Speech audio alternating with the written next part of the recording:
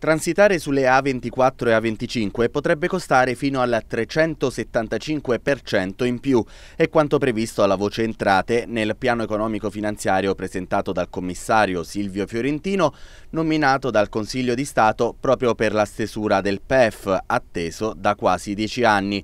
Secondo la bozza, la cui approvazione spetterà al Ministero delle Infrastrutture, ci saranno rincari di circa il 16% all'anno fino al 2030. Tra otto anni il pedaggio tra Pescara e Roma potrebbe arrivare a costare anche 100 euro. Così il piano non passerà, garantisce la deputata PD Stefania Pezzopane, che ha chiesto un'audizione del commissario alla Camera quanto prima. Le tariffe già oggi, nonostante grazie a un mio emendamento siano state bloccate per due anni, sono comunque molto elevate. Quindi è un piano economico-finanziario dal mio punto di vista irricevibile eh, perché carica sui cittadini eh, ogni onere e questo è eh, obiettivamente ehm, non, non, non ammissibile.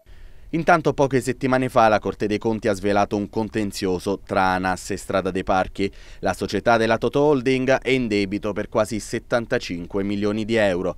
Il governo sta considerando seriamente la nazionalizzazione delle autostrade che tornerebbero in capo ad ANAS. Il Ministero ha già inviato una nota al concessionario, ha detto la Pezzopane. Se la concessione fosse revocata, per la società del gruppo Toto si stima un indennizzo di 2 miliardi e mezzo di euro. C'è una trattativa in corso e anche su questo eh, chiederei eh, nell'audizione al Ministro di eh, avere un'informazione perché in questa operazione ci vuole molta trasparenza e anche molta lungimiranza.